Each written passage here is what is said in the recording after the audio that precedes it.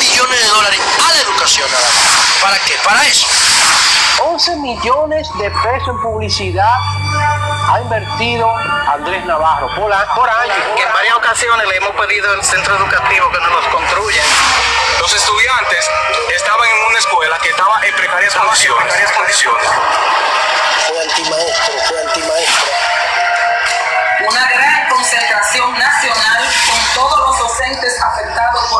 de sus derechos, sus derechos. Y una profesora se quitó la vida de un disparo al pecho porque fue cancelada del Ministerio de Educación.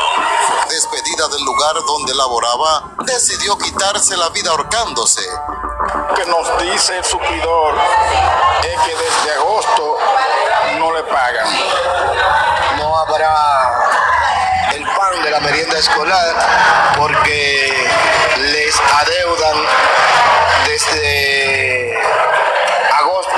Hay un desorden en las escuelas. Abusó sexualmente. En el baño lo amenazó que no dijera nada.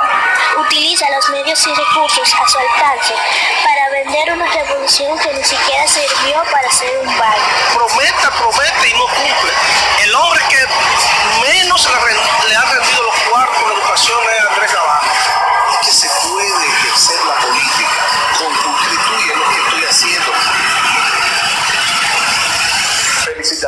Comunidad educativa.